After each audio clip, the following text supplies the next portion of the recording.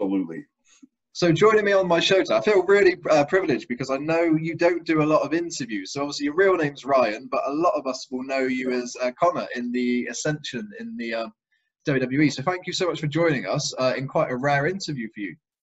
Yes, it is. I I keep myself very quiet for the most part. I, I always fly under the radar. That's what I try to do. You know, I just pop up sporadically in places that people don't think of. and we, we were just talking before the interview there about um, you're not a big social media guys in general, where no. a lot of wrestlers are, and they use social media to kind of build their name and the, their product essentially to, to help get bookings. But you just like the the chilled life. Um, but it doesn't stop you from having some good projects. You kind of, I know you're not allowed to say too much, but you've hinted uh, there's some exciting stuff coming up. Yeah, yeah, yeah. I don't like to give too much away because then you know I've always believed that wrestling's all about surprises. It's to me, it's always.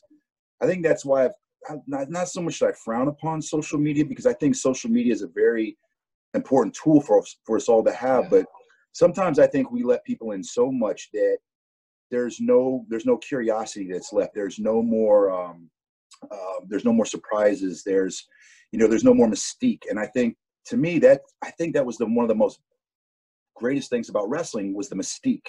You know, when you get too close to wrestlers and you kind of get to know who they are, and then you start to lose that mystique in their character and who they are. And for me, you know, like I would like to try to keep some of that alive. I know this interviews like it's a very rare thing for me, but uh, it's also kind of like lets people into my life a little bit but I won't let them get too close. and that's not a good thing to hear as an interviewer. so let's wanted to go back really to the very beginning for you, which is where your love uh, and passion for wrestling actually come about. Was it something you've loved since you were a kid? Did it happen by chance? You know, how did it start? Yeah, great question. Um, so for me, um, when I was growing up, I uh, my my my my father loved wrestling, and I used to sit there and I used to to watch this stuff a lot with my grandfather. We really got along um, with watching old VHS tapes. Go figure that out, right? and um, you know, we'd watch some some some wrestling here and there, and then you know, as time went on, it started just becoming a part of our life where you know you only had four main extreme pay-per-views back in like the 80s you know which again to me that's what made pay-per-views so special now they don't for me they don't feel so special. So what we would used to do is we would have big family get-togethers, and and there would be there'd be heckling and fighting and and stuff that made it fun, you know. And uh, um, yeah, for me, I just I kind of grew up around it. I didn't. I'll be honest, and I've told a lot of students this that I never thought that I was ever going to be a professional wrestler. I wanted to be a pro football player. Um, I was actually pretty good um, in football, believe it or not, even though I move like an ogre. um, but yeah, and so and so I started realizing like it would bring my family close together, and it was just something that was really cool. So, needless to say, fast forward a little bit, I started playing football. I got really into it. Um, this is when uh, the original XFL came out. Now, bear with me. Um, this is a very touchy subject, right? so um, I had a buddy of mine who said, you know, you should think about trying out for it. And I was like, hey, it's not a bad idea. You know, that, that could be, you know, that could be fun. Um, at least to try out to say I did it. So, and I'll never forget his name. His name is Don Hernandez, great guy. And um, one day he called me up and he's like, hey, Ryan, he goes, man, listen, you should come help me. You know, I'm doing some landscaping in some professional wrestler's backyard. And I go, oh, that's cool. If you need a hand, yeah. You know, I didn't think nothing of it, right? So I go there, I help the guy out. Um, and Lord and behold, walking out the back door, you'd never believe this, was Sergeant Slaughter. Wow.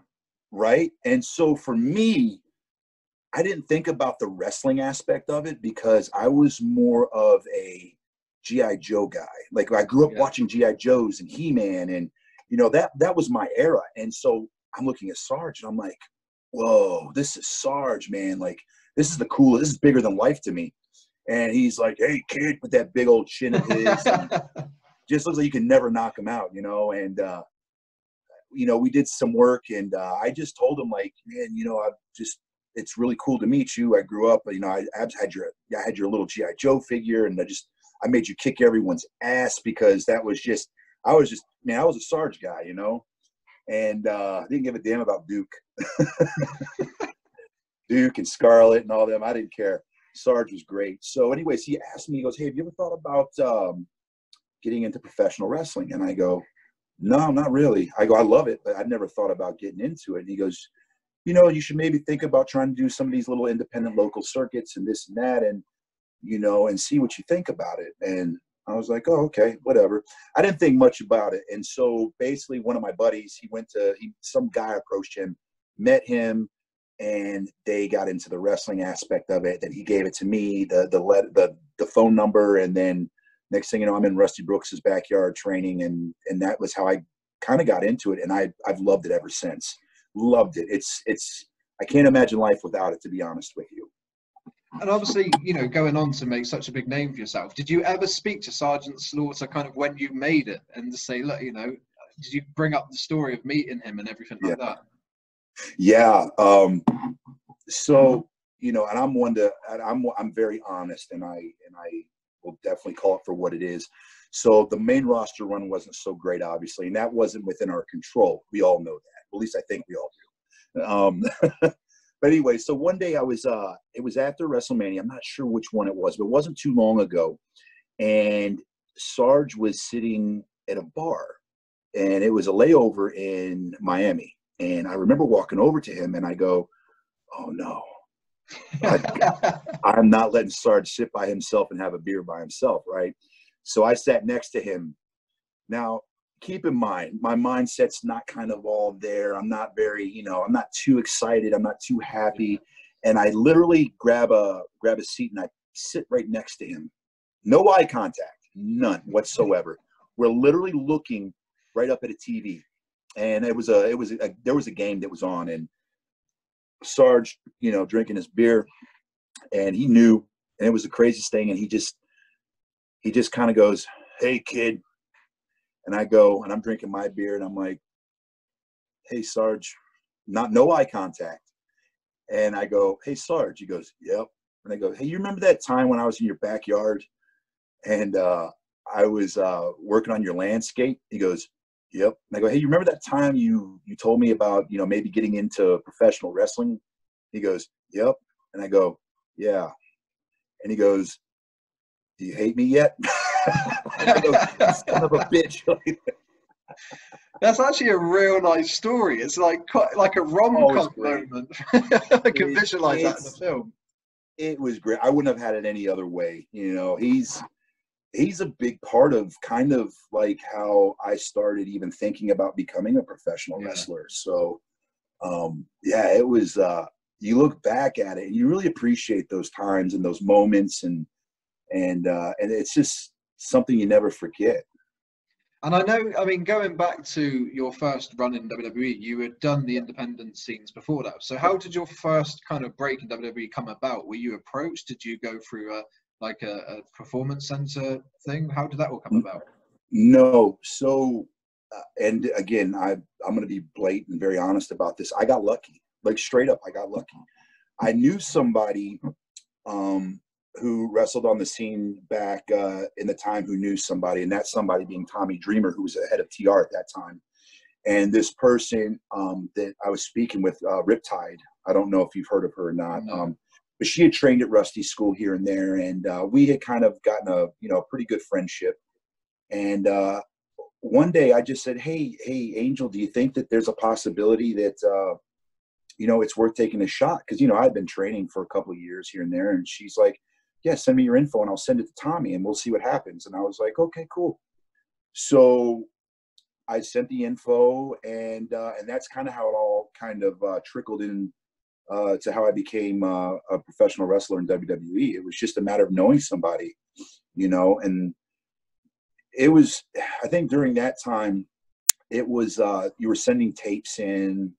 Um, it, you know, I know there were some people that thought, oh, the WWE scouts here at this show today. Yeah. I'm like, man, shut the hell up. There's no such thing as that. And there wasn't really, you know, so you had to take the ball in your own hand. But for me, it was just, it just happened to be someone that I knew who, I sent that information to. They took a look at it. They liked my look at that time, and it was just you know all up from there. And for you, obviously being a fan of wrestling before, was it kind of a bit of a novelty that you'd be backstage and see some of the wrestlers that you've watched on TV for years? Was there a little bit of a fanboy moment for you? Yeah, I think I think that happens with everybody uh, to some effect, especially if you're not like a second or third or fourth generation wrestler or whatever it is.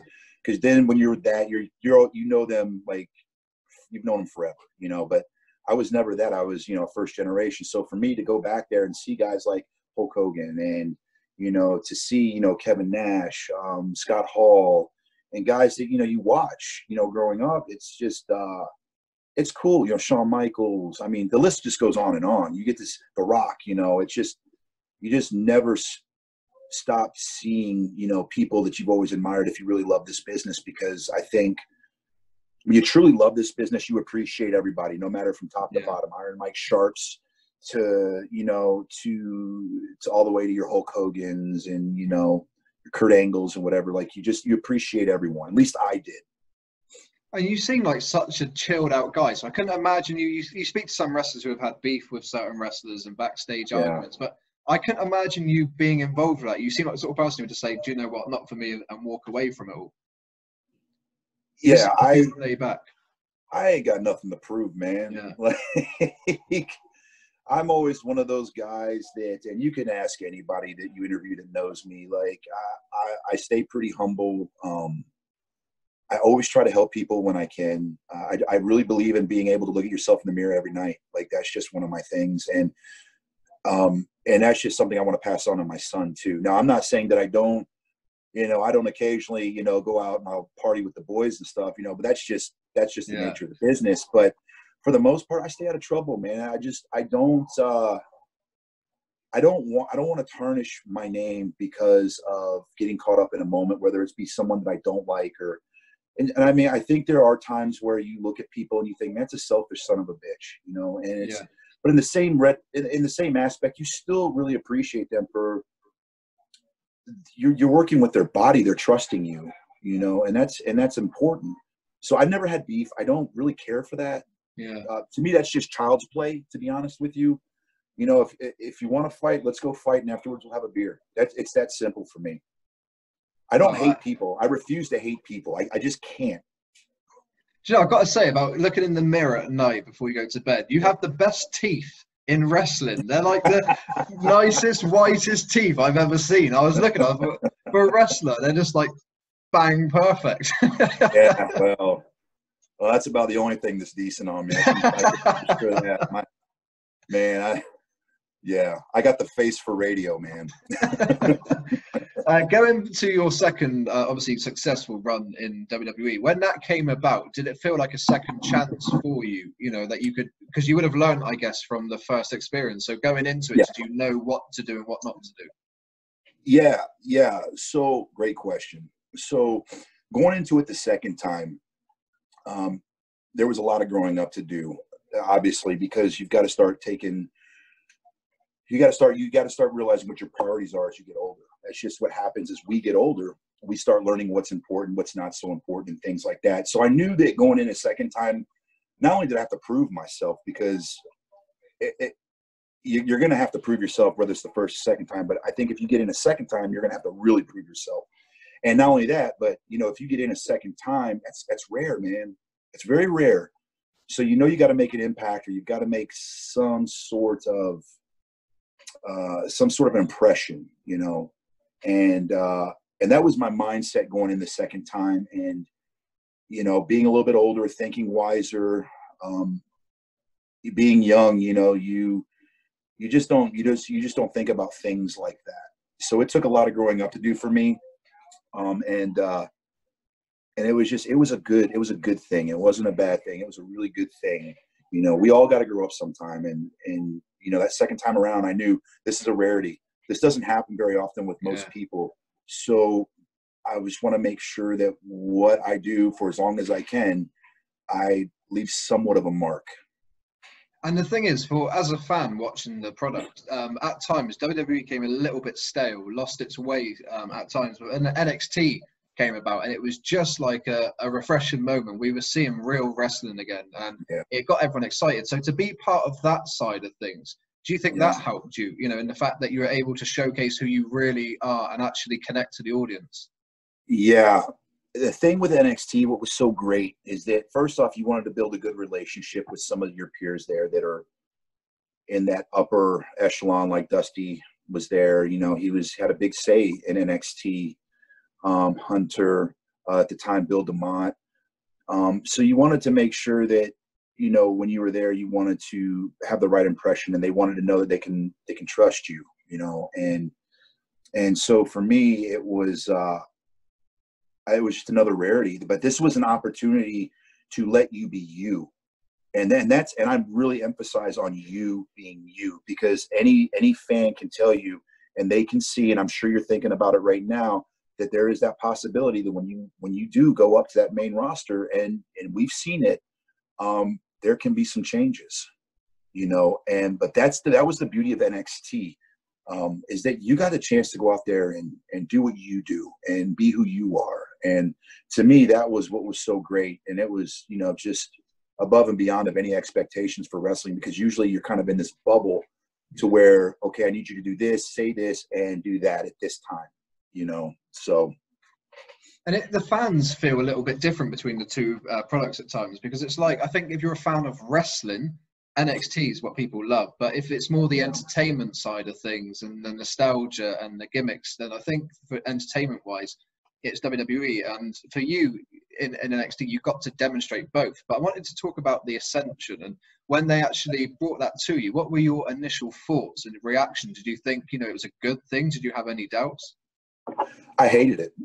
Really? I hated it. Yeah, 100% I hated it at first. And um, when it first got presented to me, it was it was I want to say it was the day after I got booted off NXT season five. You know, the NXT that we'd like to yeah. flush down the toilet and forget. Um, I'm just being honest.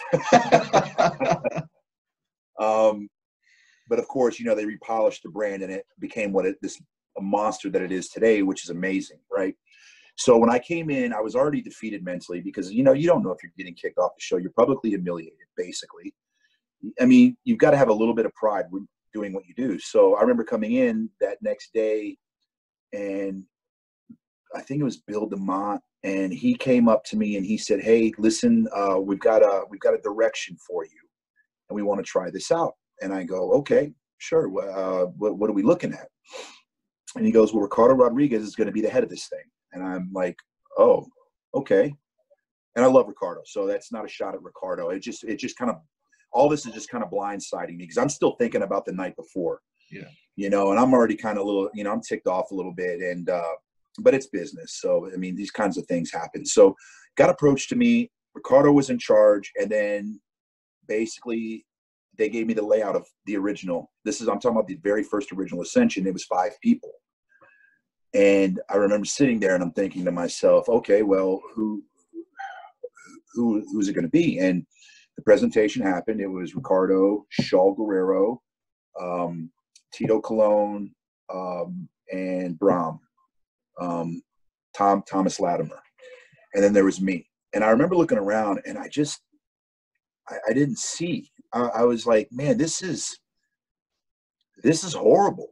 Like, how how do we mesh? Like, none of this makes sense to me, you know. And um, they were just like, give it a shot, give it a chance. And I was like, oh, okay, you know, I'm going to do what I'm, what I'm told to do because, you know, I, I play by the book and that's fine. You know, I'll do the best I can do. Was I happy? No. So i am going to fast forward a little bit here. And this whole thing was kind of crazy. And this is when we started turning into the gothic dark. And this yeah. all happened in a promo. One, one morning this happened. True story. I text uh, Ricardo because Ricardo was on the road, and I want to say he was out in California. And I said, "Hey, man, listen, we got a promo to do. We got promo class this morning with Dream." I go, "What what should we do? What what's your direction with this?" He goes, "Talk about the ascension and what it means to you." And I said, "Done and done. Okay." So then I just mass text everybody. I said, "Hey guys, listen. Ricardo said this. Um, now I'm thinking business. Everybody wear black. Let's look business and let's just go in." And then we went in that morning and of course, you know, the eye candy was Shaul. That you know, so you put Shaul in the front. She's, you know, that's just the way bands. It's anything. It's, you know, the women are always in the front. And so you put Shaul in the front, and then you start spreading this out. And then one line. That was all it was. One line, one line, one line, one line. Everybody hit it. Dream comes walking out with his dip can in his hand, and he just he looks around and he just he's doing one of these, and he goes I want you all to come in here. I want you to take a look at this. And we all got out of the ring and we're like, oh man, we really screwed up big time. So they replay it and he goes, tell me what you see here. So they replayed the video and we're watching it. And I go, I don't know, a bunch of jackoffs. I, I don't know. you know, I, I really didn't, I didn't know. And Dream goes, I see a bunch of vampires. And I go, oh, okay, well, I can see that. Then, okay, I, I'm starting to see this direction. And Shaul goes, yeah, like True Blood, because at that time, True Blood was the big thing. And uh, he goes, yeah, like True Blood. And he goes, and this is, I swear to you, this was insane. He looks at me and he goes, Ricardo ain't supposed to be in this group. I got to call him up. We're kicking him out. And I go, oh no. I was like, no. I was like, he gave us the direction you know so that was how that all began it was just that one morning and it was just we all wore black that one day and it just happened to pop and it looked good tell you what we got i got to acknowledge that impression of dusty rhodes is insane oh dream's the man. I yeah i got i got pretty i i love dream man. Rest his soul. Man i love him. He was so good to me. Um, and obviously, I wanted to get before I think a lot of people, in regards to the um, success of, of uh, the group, is when it was two of you. Um, yes. it just became two, and I think it just made more sense um, because I think a lot of times in factions, it's got to have chemistry, and natural chemistry happens organically, and you two worked so well together. So, what was it about you both that made you what you think stand out? Oh, uh, okay. So now my next question is going to be which two? Because there was one me and me and Bram, and there was me and Vic. Vic. Okay. Yeah. Yeah. So Vic, Vic's a lot like me when it comes to we're well. First off, we're yin and yang.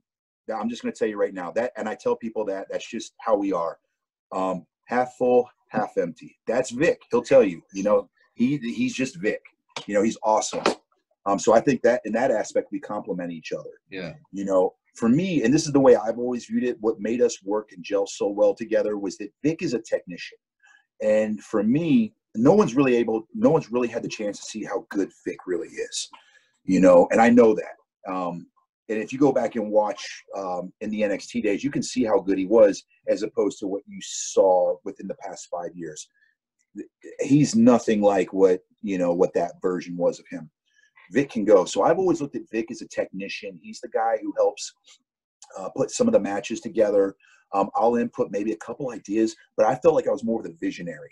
Like I could see. So the ascension that you saw with Vic and I, that was that.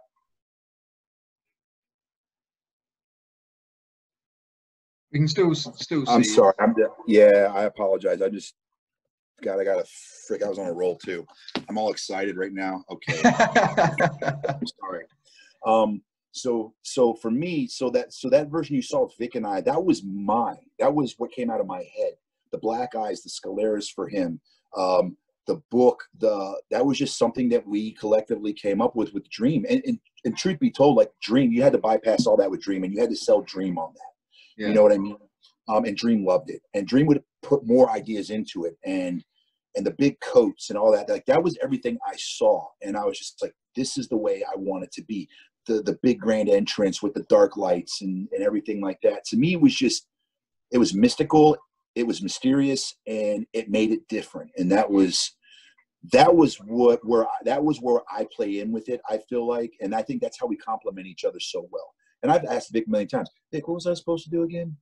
And I mean, well, I'm thinking about how we how I want our presentation to look, you yeah. know. But he's got he's got the technician, the the wrestling down like like nobody's business. And that brings it back to what you said at the beginning, and you know, actually staying true to yourself because you said you love that style of that mystique, being mysterious, and yeah. having the audience wanting more. And not so, I think that kind of stays true to what you've always believed uh, in wrestling. Yeah, yeah, less is more. I've always been a firm believer of that. I think if you keep it mysterious and um, I just it just draws people in. You know, it just it makes them want more because it's it's so different. It's I mean, the Undertaker is so mysterious and so unique. You know, he's so like he just draws you in. And granted, the, the entrance and all that, and he plays true to his character and everything. But the presentation, when you first see it, it's like, oh man, like this is incredible. You know, you don't see him on yeah. Twitter all the time. You know, you don't. I mean, I don't know about now, but I mean, back then you didn't see him on Twitter. You know, he just he kept everything true to what he was. Did you have any interactions with the Undertaker? Did you ever oh, yeah. go, go to him for advice or anything? Yeah, I first of all, I love him, and yeah, he he he is the judge and the jury without a doubt. You know, um, he he always called me Big Stiffy. That's not the, not the best nickname to have. yeah, well, it, it, it, depends, I guess. I, yeah, good point. Um, but, um, but, you know, I've, I've, I've sat down with him before and had coffee, um, and you know, I've talked to him, and you know, some of the advice he gave me, he told me, you know, stay true, because the fans will know if you're not and and you know and that's one thing that i've always believed is that you don't ever want to insult their intelligence and that being the fans um, so that was a really good piece of advice that you know the taker gave me and it's something that i'll always um, i'll always appreciate and if it's anything that i can ever pass on you know that's one of the things that you know i'll always pass on is always stay true to who you are well, I was going to say, a lot of people that I've interviewed, um, and we talk about The Undertaker, they say what a presence he is backstage, almost like a, a role model. So would you would you agree with that? Would you say he's kind of like that role model, almost like a father type uh, role? Oh man, he's he is. Yeah, I mean he's. It's hard to explain because you, you it's like if you have any questions, you can always go to him. He's very intimidating though, and I think a lot of people because of his position and because of you know who he is you know it, people are intimidated by that you know and there are and that doesn't mean that nobody talks to him granted people talk to him and, and he gives he's there to help. Like he wants to see the business succeed without a doubt. And especially wwe because that's that's him. That's who he is. Yeah. He's always been you know, loyal to them. Yeah absolutely. Yeah. And, and and and and as he should you know and he, and then because everything that he is and everything that was created with him was through that company. You know. Well, I was talking of, um, you know, you said that he at times would be like intimidated just for people to go over to. What um, Brock Lesnar is someone that strikes me as a person you wouldn't want to approach backstage, especially yeah. when you hear various stories about him. Did you ever have any conversations with him? Because some people say you just have to walk past him and not talk. No, just uh, with Brock, it was just very professional. It was, you know, how are you doing, shaking hands and stuff like that. It was never, never any big interactions. You know, um, Brock has his people that he talks with, and he's got his people that he doesn't talk with. You know, it's just it's business. That's that's what it is to him, and and that's how it should be. You know, um, so yeah, there was never really any interaction with us between him and I, um, but I always respected him. You know, absolutely, you always respect somebody like that too, because yeah, you know that guy like that could break you in half. um, well, I think you're someone that could as well. I don't think I would want to pick a fight. Um, but going back, you you admitted earlier, you know, honestly, that the the transition from NXT to the main roster wasn't what you guys would plan. So, do you think they moved you too early? Um, I don't know. I, that's a that's a really tough question to answer. I, I don't know if they moved us too early or if they if they just didn't allow us to be what we are yeah. You know, and I think that was that might have had a big part of it. And I remember I remember and I'm gonna bring this back to Dream again because Dream was really upset um, about I just remember him yelling down the hallways one morning when we were in the PC. And um, he was like, They're turning my my Stenton into into Egyptians. And and I didn't we didn't know. We had no idea what he was talking about. And so when we got the call, um, from Stamford that day. Um, Hunter had made some some explaining and some things, and he goes, "Congratulations!" Basically, um, creative has an idea for you guys. This is the direction we want to take you guys. And uh, Dream was sitting right to my left. I'll never forget it. And Ryan Katz went and he got the photos they they sent him the photos through email and he printed them up and ryan katz slid the photo right in front of us facing down. And, we have all these photos but they're all facing down these papers all facing down. And, and then hunter's like if you flip it over you'll see what the, the direction creative has for you guys. And we flipped them over. And i go oh shit. And dream looks at me and he goes egyptians i told you. And I go, oh no, like, and then and then I'm like, not the Road Warriors or you know, not yeah. guys like that because man, there can only be one Road Warriors. There can only be one Demolition. There can only be one Powers of Pain. You know, and those guys were huge. You know what I mean? Like those guys are 300 plus pounds. You know, at that time I think I was 270 and Vic was 230 maybe at that time. And I'm like, oh no, like this is. But you know what? This is getting us up to the main roster. Um, it's giving us an opportunity. You're not going to say no. I don't care who you are. Like no one's going to say no to that because yeah. the goal is to get out of NXT, or it was to get out of NXT to go to the main roster because that's where the big money was at, you know. And I don't know how how much it's changed now because I haven't been part of NXT in a long time. Um, but but I, I that was the one thing that I remember thinking when all that went down was I was like, man, we can't be us you know, it's you know we're not going to be able. We got to we got to cut promos and we got to yell and we've got to scream and that's not who we are. You know, if you ever met Vic, like he's so you think I'm chill. He's so chill, and he makes me look bad. Well, I was going to say that it's kind of a common thing sometimes with uh, WWE when something works. So whether they get someone from the Indies and they, they come over mm. and they are hugely successful, they kind of go to WWE and then it just falls apart. They're not the people that we all fell in love with at the indie shows. And sometimes it's the same for NXT. This talent goes over and you're hyped because you followed them, you followed the journey, you it's organic. Then all of a sudden they've changed because you know it's an entertainment show on a bigger scale and you kind of lose that identity and then i guess you're losing that connection with the crowd and the original fan base. Yeah because that's what they know you as right? Like yeah. they they see they see who you are when they first fall in love with you or start to like you or whatever it may be and then they see this transition and then they're going to be like wait what? And then another confused. Yeah because they're not sure of what's going on. Now, what I can say is, luckily, I feel like we were the guinea pigs for that, and I could be wrong, but luckily, I've noticed that they stopped doing that to a lot of the guys that they are transitioning up to the main roster. Which thank God they're they're doing that. They're not. Yeah. They're letting them to be them, and I, and that's such a big thing. I think it was. uh it's the War Raiders, right? Like they they came up and they changed their name. I remember sitting in the locker room that day, and it was God, it was like Viking Experience or Viking Express, something. And I was like, oh no, please don't do this to them. Like I'm thinking to myself, oh no. And then I remember seeing some backlash on it and everything like that with the fans. And um, thank God that they got through it though. You know, I'm, I'm so happy that they did because they're good dudes, you know. Um, but I mean, it happens and, and the fans know when that transition happens because they're confused yeah. now as they should be. You know, they should be that way. Could you imagine if, like, you know, the son of a plumber debuts and all of a sudden he's like, you know, gorgeous George all of a sudden. Yeah. You know, it just it just doesn't, doesn't it just sense. doesn't connect. Yeah, it just doesn't connect. That's not what we know as fans uh, or as workers. Like it's just it's confusing.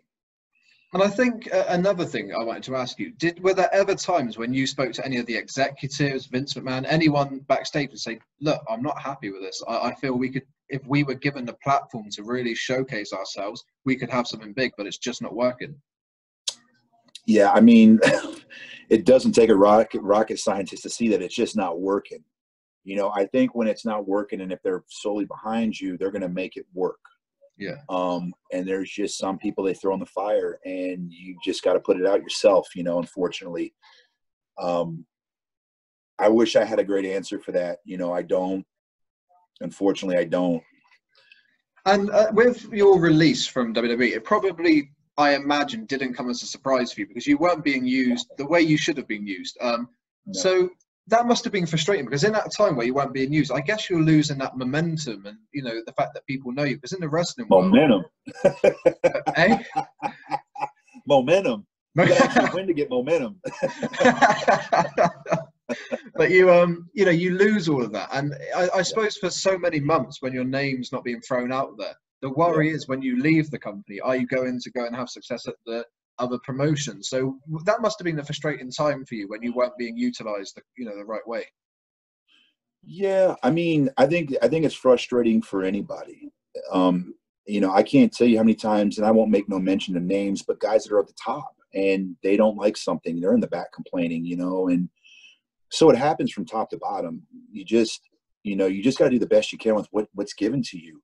Because here's the thing: at the end of the day, if you don't want to do it, somebody else is going to want to do it. You know, don't think for one second that if the ascension doesn't want to do the ascension, hey, I'm telling you right now, somebody's going to throw some face paint on and throw some shoulder pads on just to get up to the main roster. It, I'm yeah. telling you, it happens. So you either do it or you don't, and that's and that's just kind of the way that it is. And that was our opportunity, and and we knew that. You know, me and me and Vic are old war dogs, and it's just one of those things where, you know, this was an opportunity. It was presented. Did we like it? Not really, but we try to do the best we could with it. I don't think anybody could have had a lot of success with that because it just it just wasn't made for that as way I feel at least.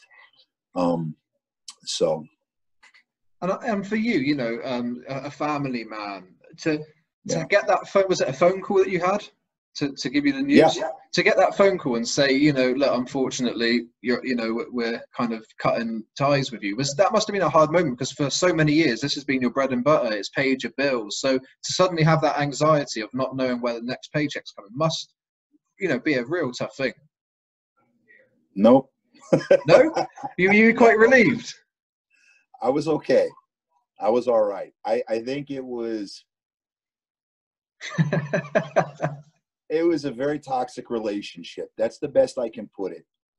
I love a lot of people that are there. I love a lot of the guys that are in the office that are there. Um, there's just it it just needed to happen. And it there was a present there was a presentation to me about possibly resigning. And I my one question, I just had one question. And I said, why?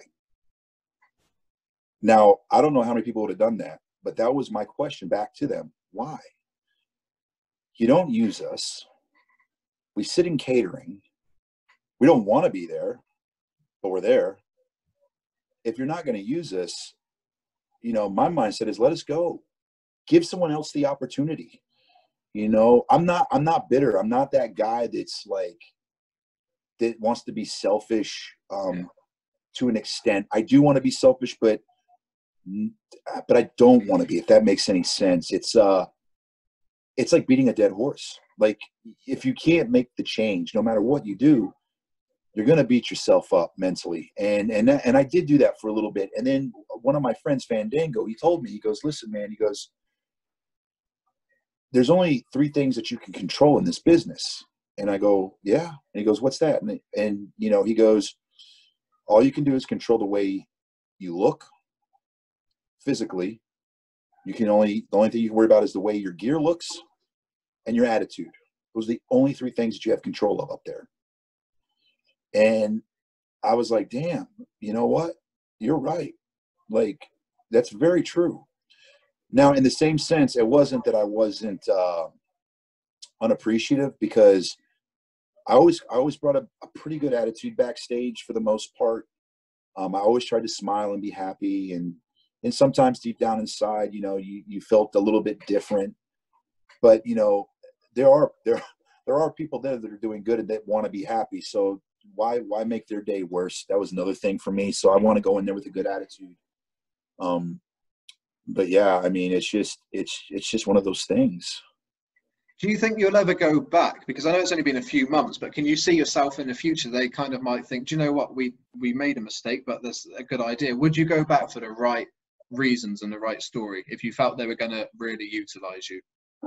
Um, oh, man, Whew. tough question, isn't it? it, it is a tough question because I've been with them for so long. Yeah, I kind of know how they think, also. Um, the best advice that was ever given to me through through uh, one of my peers was in this business you never say never and and so i don't want to say yes and i don't want to say no i just know I, I would never go back to any company under the circumstances that i just went through And it sounds like you had a really good relationship with Dusty Rhodes, you know, from stuff that you've spoke about in this interview. So obviously AEW being one of the it, it's an exciting product. We watch it here in the UK. I absolutely am addicted to it, and for me, it's given me a little bit of a love for wrestling again that I was starting to Good. lose a little bit. And has there been conversations between you and Cody about you joining them? Because I guess um, over time he must have spoke to Dusty about you. Um, so was there ever kind of discussions about you joining AEW? Um, I've never really picked the phone up. I've never reached out or vice versa, really. Um, I here's here's the thing with me right now, and this is the best best thing I can say for me is that I just don't want to answer to nobody right now. Yeah, I've been answering to people for 13 years, um, and and I'm not, I'm not saying no, I would never because I would, but and I love Cody. You know, I've gone over his house before and stuff. Cody's awesome, and I love the the entire Rhodes family's awesome. Um, but right now, I haven't given that any thought, to be honest with you. Like I haven't I haven't really thought about reaching out to uh, to AEW. Here's the thing: like a lot of people are like, "Go to AEW." Listen, man, you can't just walk into McDonald's and and throw an apron on and go behind the counter and say, "Hey, listen, man, what can I get you to order? I'm, I'm making a paycheck." Like you have to be invited, yeah. and that's just the truth. You do, um, but in the same sense, we've never reached out either, at least not to my knowledge. You know, so with with someone like AEW, I, you know, it's it could possibly happen. Um, but that's, I, I just don't know. Yeah. I, I, would do it, I think, to an extent. Um, I love Arn. Arn's there too. Um, and I love Dean. You know, my trainer was trained by the Malenkos. So it's just, there's a lot of good reasons to go there, you know, but I also want to make sure that if I do do something like that, it's also something that mentally I'm, I'm ready to handle again. And I think you can just get just from talking to you in this interview that you you love the business in regards to the creativity of the business, that understanding it. You're not just a performer where you go out there and do your thing. You really like to get to you know to grips with everything. So I think for you, it'll be great for you to showcase what you can really do rather than being kind of pressed in into like a box. You know, to actually go out there and demonstrate what you're about, what you can do. So maybe yeah. going on that journey could be a good thing because it seems like you've got a lot to give. I got some years left. I'm not saying I got a lot, but I got some years. so what's next um, for you? Yeah, so we've got a lot of cool projects coming up, Vic and I. Um, right now, we're trying to figure out our tag team name. To be honest with you, I know like the revival, they they jumped right on it. You know, uh, you know, uh, they changed their name quick. Um, we're still kind of like, man, I don't know. We've came up with some names. I'm like, oh, I don't know about that. You know, so uh, we've had we've got some really cool. I I don't want to say what they are because it just again like I would want it to be something exciting if it happens. Yeah. And I don't want to shoot myself in the foot and say this is what's going to happen, and then uh, this doesn't happen. You know, and that happens a lot in this business too. So, but I've I've had some some phone calls with some really cool people um, that probably should have happened by now, but because of this damn pandemic that we're going through, it's really a pain in everyone's ass, including everyone yeah. watching this thing. You know, but it works out great for you though. Getting lots of guests. Good for you. Good for you. no, I, I got to say though, um, for in terms for you, it'd be great to see you go out there because everyone loved you in NXT, and the run in in WWE was good. It just again, you felt like you were trapped a little bit, and we've got some a couple of questions from people. Um, yeah, absolutely. Um, we, we got two of them that we've picked, and one's from Elliot, who's actually a, a wrestler in training. Um, awesome. And he said, "Why do you think the Ascension didn't do as well in the main roster?" So we've kind of covered that a little bit, but in, in a nutshell, how would you describe that? Booking committee Fair enough. booking committee. Elliot, it's the booking committee, damn it. and the next one is another trainee wrestler called Shan. Um, and he said, Do you think video packages of NXT talent coming over to the main roster would be good? Because not everyone watches NXT or has the network. So do you think if they did some more promotions would work? Absolutely. I think anything I think anything going over into the main roster is going to help anybody um, the more publicity, the more hype. It, it's just that that's important. Um, but you know, too, like with NXT being what it is now, and not what it was when we were there, you know now they're they're doing you know these big pay-per-views and stuff and it's uh it, it's it, it's crazy what it's become. You know we didn't have that then. So i think i think now that people are transitioning over into the main roster it, it's working out for them because of the the presentation that's being done nowadays because of the coverage and and I think it works out in their favor more so now than it did, you know, back when Vic and I were coming up. And for all the promoters um, watching this in the UK, do you like the UK? Would you like to come over? Is there anybody on the UK scene at the moment that you know about that you would quite like to have a match with? Oh, I love the UK. Um, I, I love it. I used to love the European tours every time we came over there. It was so much fun. Um, there's a gentleman by the name of Jester who's over there. Um, who I just I think the world of. Um, Saraya, the, the Knights are out there. Yeah. Um, yeah, um, I love them, and uh, just just I, I would love to get out there. I, I love traveling. I don't know so much about right now with all the face masks and stuff you gotta that could be the new gimmick. Breathing the dance,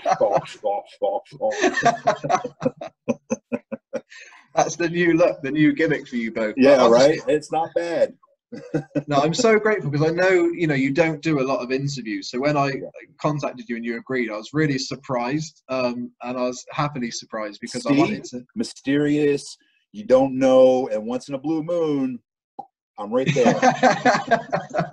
Because I know you probably would get bombarded with interview requests. So I was kind of like, got the email. It's one of those moments you're like, and you like punch in the air and you can't wait to tell everyone. So thank you so much for being so honest, so open and so humble and joining us on the show today. Oh, thank you, Liz. I appreciate it. I really do, man.